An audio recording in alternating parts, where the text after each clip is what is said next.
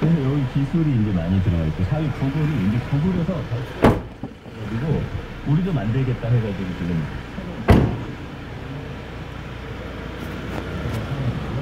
우리가 챗봇, 기업, 투자. 언어 이런 단어로 나오는데 지금 관련한 주식들이 또 상한가를 치고 있습니다. 이 안에 들어가는 기술 지금 챗 GPT가 이런 식으로. 근데 이제 나중에 문제가 될 게 가짜 뉴스라든지.